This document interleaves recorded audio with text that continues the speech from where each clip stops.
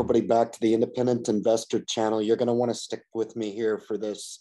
If you are, in fact, interested in more information on Hyliion Holdings, uh, the company as it's transpired to this point, and the projections going forward for this company, uh, you're you're going to want to you're going to want to stick around for this. Uh, we we might be looking at something very very interesting that's going to transpire over the next two years. Uh, and any of the, the, the bull camp and the bear camp are going to be focused on the same thing. Um, this is uh, not going to be uh, a secret anymore after the February 22 uh, years ending earnings report come out for 2021. We're going to wrap uh, up 2021. Uh, and I'm going to give you guys some some things that I've looked at here, which has got me extremely excited uh, I, I, think when we look at this Hyliion opportunity and we look how it's transpired over the last 18 months, um, I think it's been pretty dismal. But I think the dismal performance on the stock side of the house does not re reflect the opportunity that exists with Hyliion Holdings, the company. It just doesn't. And we've been provided over the last 18 months with validation of the product within the hands of the fleets so we know that this product is uh, absolutely viable. Uh, it is uh, being uh, introduced to over-the-road rigor, uh, and it does work. There's no doubt about it. Uh, the majority of that validation for me, and you guys can correct me if I'm wrong, comes from the validation that we get from the hybrid EX product that's been out in the field now for a, a long time. Remember, we had earnings restated for 2020 Entering into 2021, uh, I will remind you guys uh, that post Q1, uh, we had 30 EXs on the books uh, sold. Now, I don't know if that was the 359 of accounts receivable plus a little bit that was able to trickle onto the balance sheet uh, since then.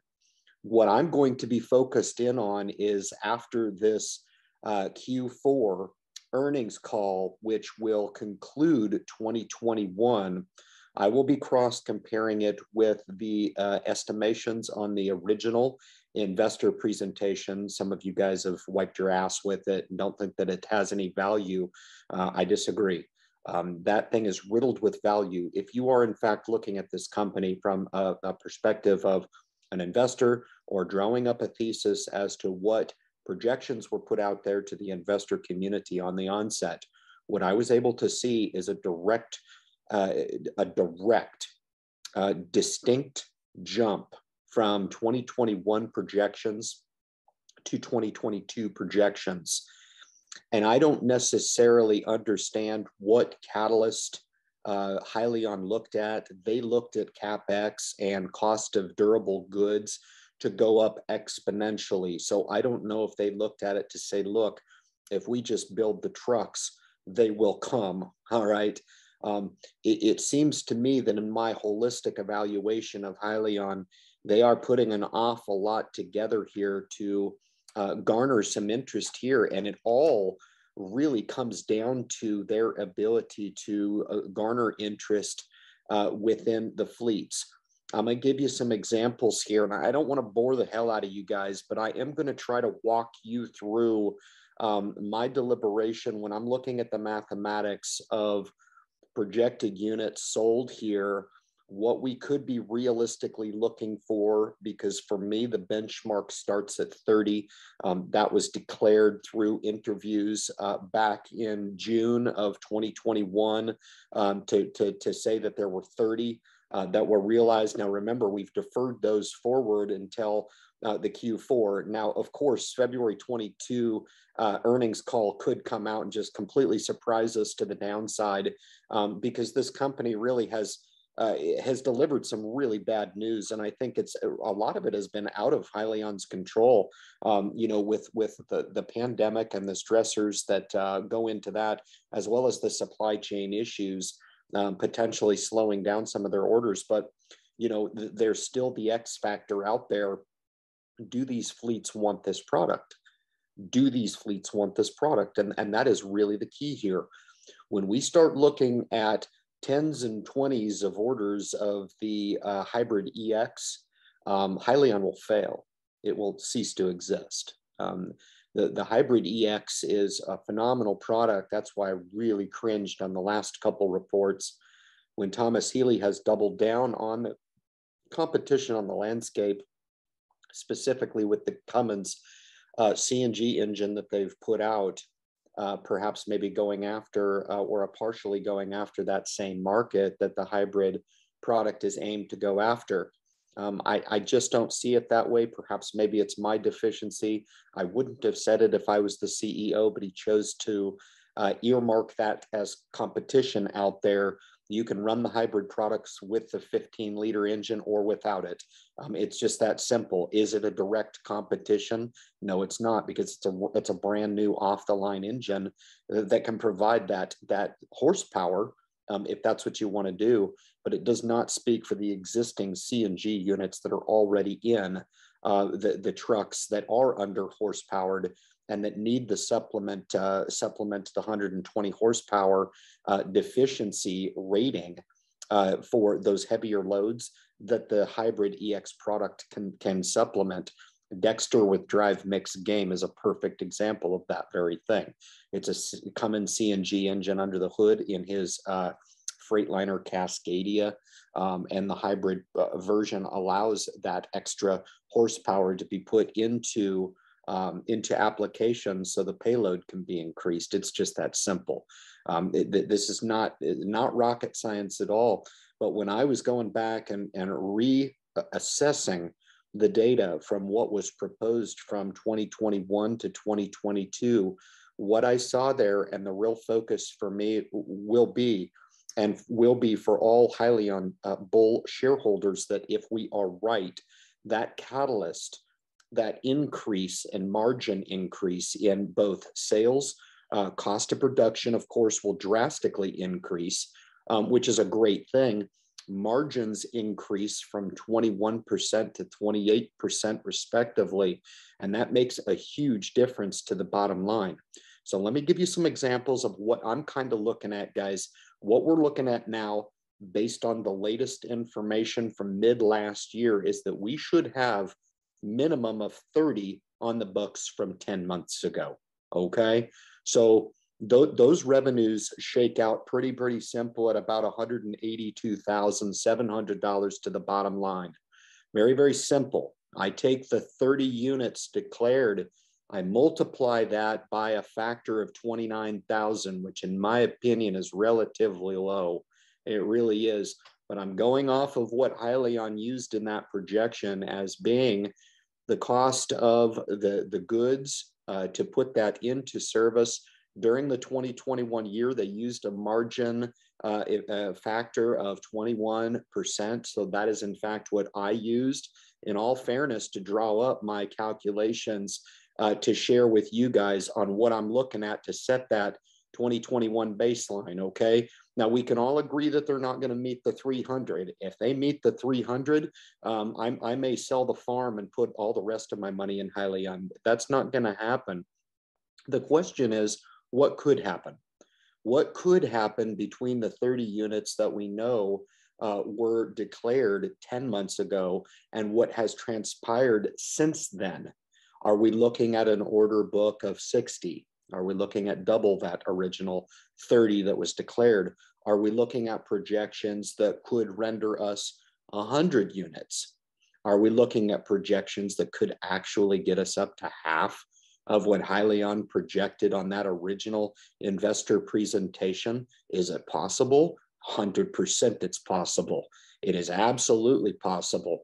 I've got, you know, trucks pulling in and with Returnit and all these companies coming to fruition, I, I cannot keep track of the uh, number of fleets out there that have been provided these units over uh, the previous couple years that have compounded to this place right here, where we were going to take a cumulative amount of units sold and put those onto the books for 2021. So we're really in between the 30 that we know exists Okay. Now, whether or not some of those 30 were already accounted for and I'm, uh, you know, presuming that there's orders beyond the 30, which, you know, Detmar just took delivery of their units here just as of late. If my calculations are correct, those would be one of what should be many examples to go against that projection of 300 that was supposed to be turned out for 2021. I get it. They're not going to meet the 300, the whole idea behind this exercise is to understand where Hyliion is from the 30 to now. What have they done over the last 10 months to garner interest in the hybrid EX product? And here's what it means if they can actually garner some interest. 100 units is $609,000 of bottom line, okay? You think 609,000, you know, that that is to use Sherry Baker's words, it is immaterial, okay? Everything that we discuss right now when we're talking hundreds of units is not going to render the cost necessary to cover the cost of operations here. And I'll talk about what is going to be necessary to shoot for and cover those cost of operations into the future as we get off of this launch pad and stop celebrating orders of 10 or 20 on the books, that's not going to do it for this company. It's just not going to do it.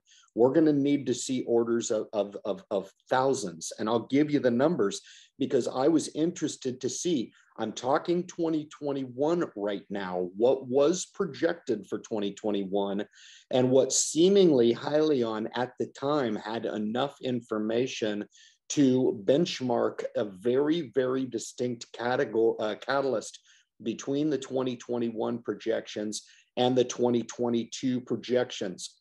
Part of that increase in units sold was the introduction for the first time in 2022 of the Hypertruck ERX. Now, when we're talking 2022, there are obvious drawbacks with this perfect storm with regard to the supply chain that has obviously affected those time frames for the delivery of the Hypertruck ERX. You want to cry about it? Go ahead and cry about it. It's no problem. I will be adamantly listening on the 22nd to understand if there are any revisions to those timelines to make sure that those 2,500 units of projected sales that occur that are uh, supposed to have occurred in 2022 have a chance to be realized within the next 12 or 24 months going forward because a, lot of people on the landscape are talking about how important the Hypertruck ERX is to this company. Um, it is everything to this company. It's not just important but I wouldn't forget the hybrid EX in this equation. And, and here's why. The 150 units, which would be half, would be about just a little bit less than $1 million of, of profit, bottom line profit. Now, these are yearly figures here, all right? And when I did up these statistics, I, I, I sat back for a second and I thought, well, good grief, if, if, they're, if they could do 150, you know that, that on the onset i think if they came out and said they made half of the projections um, that would seemingly be somewhat bullish uh, to me. And i don't know how the stock would react or the stock market would interpret that um, if they could close down 2021 with 150 units on the book. Now, me personally, guys, I don't see that happening. That is less than the projected 300. If it does happen, I think that could be a positive catalyst because it's on the upper end of my range from 30 to 150. The X factor in this is uh, where do we fall in between that spectrum? And if they come out and they say 178 units, I'll fall out of my chair. I just don't think that's going to happen. And I don't think that's going to be as positive of a news. Uh, then, then the stock may actually react to that positively. And here's why when we're talking about hundreds of units, I use the 150 example here, rendering just about $1 million of bottom line revenue, okay? Cost to operate this business runs about 110 to about 135 on the high side, okay? When you chunk that up quarterly, we are talking about 27 and a half to about $30 million per quarter of just operating expenses, guys. Operating expenses goes into everything. R&D, payments and salaries, keeping the lights on, new equipment, et cetera, et cetera. Everything that it costs to run a, a, a business like this is, is very spendy. And Hyliion just so happens to have a, a business model that is, by all intents and purposes, a lean business model.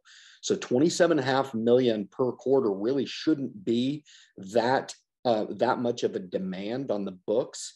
Um, but when you don't have sales, um, this is where we start looking at these numbers and this is what really kind of raised my eyebrow and i was like man i i, I think i'm going to have to fall back and chalk up 2021 as just being a pretty dismal year with regard to whatever delays were incurred by the company whatever sales they're able to garner on this uh, particular earnings call to close out 2021. If they can do 150, I think that'll be a positive for the stock. I think the positive could go to five, six, seven bucks uh, on the upside. But to be quite honest with you, that is just a drop in the bucket and it is just a start. 150 units is going to render just less than $1 million, guys. That's one 127th of, you know, the, the total cost uh, that's necessary to keep the lights on at Hyliion for a quarter. Okay, just to put that into perspective for you guys, if you look at the total year, year over year, 150 units at a million dollars with a hundred million dollars uh, on the super low lean end. They're talking about revising to 110 to 115 per year of operating expense, guys. $1 million is immaterial. It really just doesn't mean anything. Now, the hybrid EX product is a fantastic product. It meets a niche in the in the marketplace. It's a good product, but it, is it going to move the needle uh, for for Hyliion Holdings? In my assessment, the answer is no. The reason why I put these videos out is to have realistic expectations going into February 2022, and I don't I don't think anybody in their right mind is going to enter into this earnings call, even though the consensus is that there's going to be some sort of, of, of revenue that is uh, uh, put on the books. Um, there's certainly going to be earnings. As far as revenues, that that's going to be a non-starter. That that this quarter, uh, this year is going to close down as a non-revenue year. It's just that simple. It's not, not going to happen. excuse me, profit it's just not going to happen. It's not going to happen with the uh, EX product carrying the bulk of the responsibility to garner any type of inflow for this company. It is immaterial. It wouldn't have mattered, to be honest with you, if they had even done 10 times that amount. If the projected amount was, you know, a thousand units, I mean, we, we would have been talking, you know, we would have been talking uh, $10 million $10 million is still a drop in the bucket, you know, less than 10% of the total operating costs. So, you know, even to put a, a drop in the bucket here, when we're talking about the hybrid EX product, um, it will absolutely supplement. And, and I don't mean to be the bearer of bad news here, because what I'm going to talk about is the Hyliion's projected catalyst from 2021 to 2022 was the real meat and potatoes here. Okay. If you extrapolate the numbers specifically, what Hyliion declared was in 2021, it was going to be a ramp up year. It's just that simple. Now, whether or not 2022 ends up being that ramp up year because of the delay, so be it. I'm willing to accept that, and here's why whatever catalyst, whatever interest they believe that they've garnered uh, within Hyliion, within their outreach and network of existing clients that they have, seemingly put them on a path to build an awful big facility to operate as uh, their own direct to consumer uh, uh, uh delivery of their product. I, I don't want to call them an OEM because the integration of the OEM is really the key catalyst to making sure that some of these declared numbers uh, the the increase in in those numbers could actually become material because the 2021 projections to the 2022 projections were, were off the chain. Let me give you an example. 2021 projections for the EX uh, product was 300. They ramped that up to 4,100 units. 4,100 units. I just told you if they sold a thousand EX units, it would be immaterial to the bottom line 10 million of earnings. That's nothing. That's immaterial just as much as the 913,500 of income that I think they're going to probably report somewhere around the half a million dollar mark. It's immaterial. It means nothing. Now, what it does mean is that they can generate and garner sales and interest in the marketplace. My problem is that this is a cumulative collection of these orders in that these orders need to start churning and they need to start churning on a daily basis. If they're going to get up into the thousands of orders that they've projected and they projected these orders the increase from 300 to 4100 uh, units would have meant 33 million 292,000 to the bottom line for the entire year divide that by four and you're talking about $8 million. Now, this is just the EX unit specifically. Now we're talking, now we're talking because we're talking about um, eight, uh, $8 million of bottom line profit against the operating cap of 27 million 500 per quarter. You see where I'm going with this? 8, 16, 24, almost one third of the operating costs for the, the business is what Hyliion is projecting they were going to meet in 2021, 2022 with the massive increase in the hybrid EX product. Okay. So the give and take for me is Thomas Healy's remarks on his concern about competition in the marketplace. Well, okay, Thomas, if you can't do 4,100 units, what is the what is the rendering going to be? Is it going to be half of that again? This whole half-life on the projections is, is just absolutely killing us. But I think when we're talking about the hybrid uh, EX product, it's immaterial at best anyway, because there's no way that they can keep the lights on at Hyliion Holdings if their flagship product was the hybrid EX product. Do I think it's irrelevant? No, I sure don't. I sure don't because those projections at 4100 do absolutely mean 8 million per quarter to the bottom line. That's pure pure profit okay?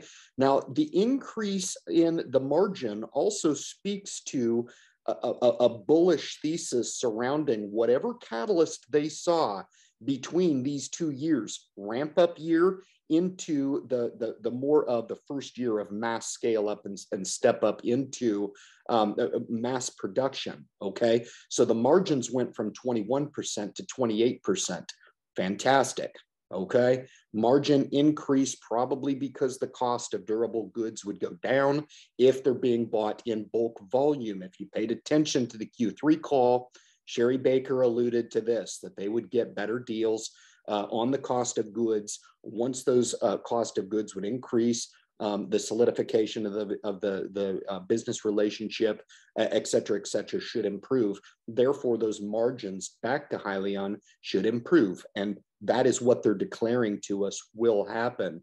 Is that those margins will push up to 28%, but for the total year sales of the hybrid EX, we're talking about 33,292,000 for the total year uh, of projections. Now, compared to the 913,000 of, of garbage that we're actually going to do for this year, okay, it, the, the, the amount of increase is absolutely worth paying attention to. And it really comes down to that X factor. This is why the retail community is binding together so much with regard to we, we do need sales. We do need sales. And I think eventually those sales will come. And through the numbers, this company could quickly, and I want to stress quickly, step into profitability. And the scary part about it is once they get to proper uh, uh, to profitability, the, the, the re-rating of the company goes on on the fly. And you want to see a stock price that can move once that re-rating happens. Hyliion seemed to think that they had something there to show from going from the beginning company where they were going to roll out a few units. I would imagine that they tokened the 300 units as just being those units that they could get out to the fleet and provide those units as they came in on an on an order base. And that's really what they've been doing to a lesser scale. Now, I do believe that they've uh, uh, suffered from the supply uh, constraints uh, from the supply chain on the EX. That's obvious in the numbers because I tell you what, if they turn out 300 as proposed, I will again fall off my chair. I, I will fall off my chair. Okay.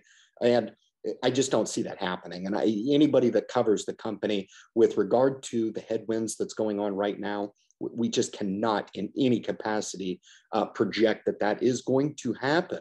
Okay.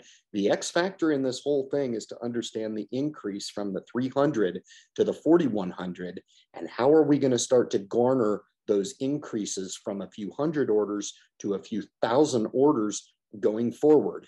Okay. I think they've got something up their sleeve. I think they identified that this was going to be a critical impasse of the company to do that ramp scale up. And they've got enough partnerships. They've got a, a, a board of directors that they keep on adding to every single week, it seems like, to start to tap into these collections or connections that they have here to start to ramp up from something that is immaterial to something that is going to get Wall Street's attention. It's just that simple. Now, on the Hypertruck ERX side, this is where it gets really, really interesting, guys. And it's just as simple as the math, okay? You can say one way or the other, wax on, wax off. You can say whatever you want about this company. It's going out of business, or it's going to the moon, or it's going to moon. I have to say it right. The Hypertruck ERX is the key. 2021 projected sales was zero, of course, as appropriate. 2022 sales were projected to ramp up to 2,500. Okay. Now I point back to the original order book that is queued up right now at 1,590. Okay. Part of those orders will be built against this queue. Okay. Now the 2,500 Hypertruck ERX orders that they projected going from zero to 2,500, what is it that Hyliion knows that we do not know? What is it that they've put in motion with this company with regard to solidifying an all star board, hiring on like there's no tomorrows? No tomorrows will be uh, new hires will be something that we'll be keying off on on the earnings report. Uh, new orders come in for the Hypertruck ERX built against their backlog We'll be paying attention to that. What does Hyliion know that seemingly the investor community does not know at this juncture with regard to their plans on how they are going to mass scale up? They have to have something. They cannot have nothing. If they have nothing, this company will fail. It's just that simple. They'll fail.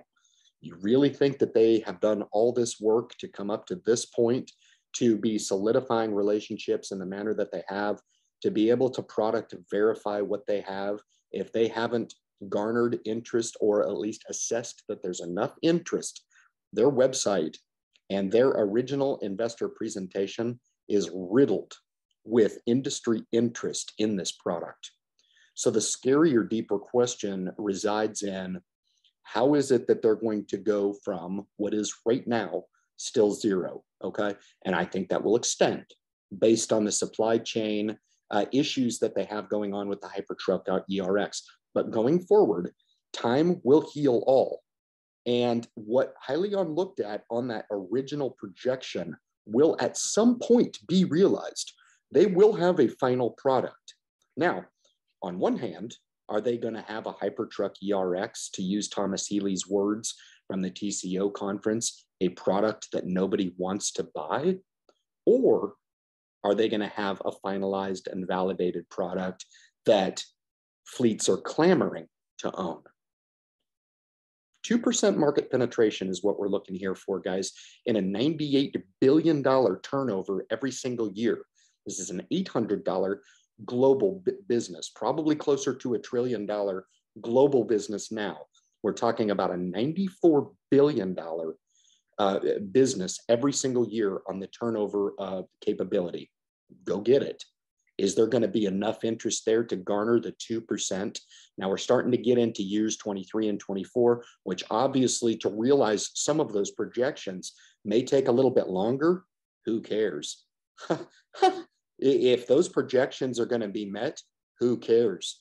Are you willing to wait till 2026 2027 until that 2.2 billion of bottom line revenue is met and we can make projections that certainly they may have the best chance weighed against their performance and the performance of their units in the field that they can't even maybe go after that moonshot and garner more than 2% of the market. Yeah that, that's going to be the cool part. And you're thinking that's a pipe dream ryan. That's not going to happen. I beg to differ. Here's why the 2500 units sold per year okay which was projected to go from zero in 2021 to 2022 to 2,500 units means 803 million to the bottom, to the top line, okay? 803 to the top line, we are talking about $2 million, $200 million per quarter. 200 million, okay? Now that is affixing a 28% margin onto the Hypertruck ERX. 2,500 units garners 803 million dollars of revenue, okay? I, I already accounted for. That's the margin revenue right there. I already counted for. That's not gross sales. Gross sales is significantly more than that, okay? But 803 million for the entire year divided by four means 200 million dollars of profit for this company per quarter. 200 million, okay? 200 million. Stop and think about that for a second. 200 million plus the little 8 million that could, 208 million per quarter for this company that can operate on 27 million on the low end, probably 30 million on the top end. It's expansion time, baby. Okay. That's 2,500 units. All right. We have fleets out there that are chomping at the bit here who have enormous fleets. Does this have to just be a long haul application? It could be. I think Thomas Healy is going after the soft spot in the market. I think there's a lot of players that are working the uh, middle duty and uh, short duty uh, types of applications. And I think Thomas Healy is going after the big, uh, the big market there. Now, whether or not they are going to be able to reach this mass scale up, and for me, 2,500 will get her done. It'll get her done okay 208 million uh, of sales we're talking about quad that 800 and 16 832 million dollars per year okay that just about gets us up to that 1 billion dollars which is half of the projections on that original investor presentation that was made available to the public on the onset uh, when this was shell company under the SPAC. All right. So things to get excited about and people are like, they're not going to sell one unit. I, I beg to differ. I think 2,500 units per year is actually more than doable. Now, going into 2023, going into 2024, the, the projections start to get a little bit crazy. But I tell you what, in 26 and 27, 2026 and 2027, is it not feasible if we have integration from the fleets that these guys are going to blow through what they originally estimated going from zero to their first something at 2,500 units. Is it not far fetched to think that they could garner significantly more than that? Now, their projections say that they can. Their projections are at the 15,000 unit mark, okay? But the sheer nature of the numbers and how they shake out at 2,500 units is incredibly incredibly attractive when you're talking about the projections of this company looking at it and evaluating it now on this february uh, call that's coming up in a couple weeks and, and and not having too outlandish of expectations because i think that catalyst the in between the lines between 2021 and 2022 uh, is is worth noting the margin increase from 21% to 28%, th- those of which I used in the factors that I have projected to you guys today, is I think the in between where we really need to put the focus. And when that catalyst happens in the future, it really just comes down to are you investing that they're going to, to realize that catalyst? Are they going to go from zero units to 2,500 units of production? If you look at the 1,590 units that are back ordered right now, one of which is a big order from Agility at a thousand. If they're able to do a hundred of those units, okay, in the first years over the next 10 years, right? A hundred of those units, you're talking about a nice chunk out of that 2,500 units.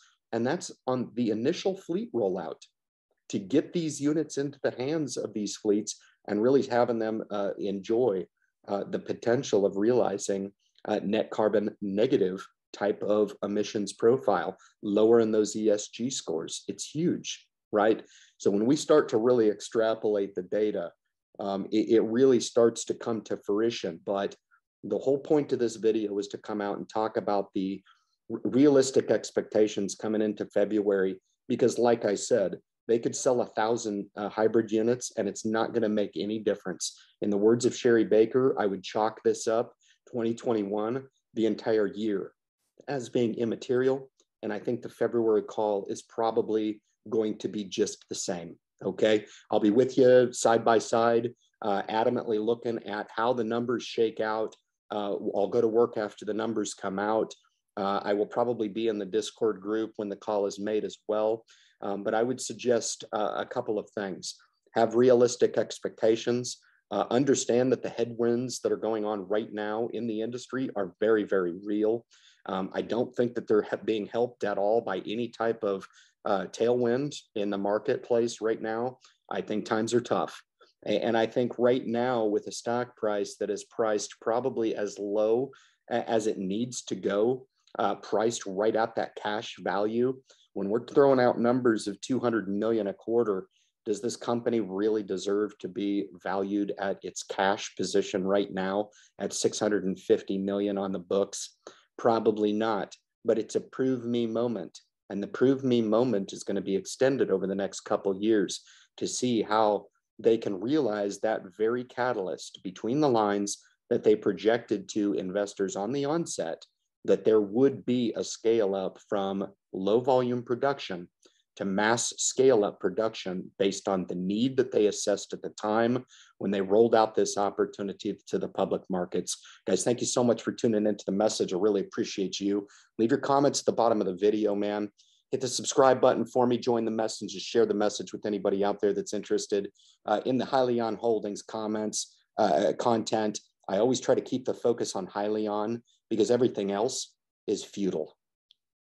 Guys, thank you so much for tuning into the message and good luck in your investment future.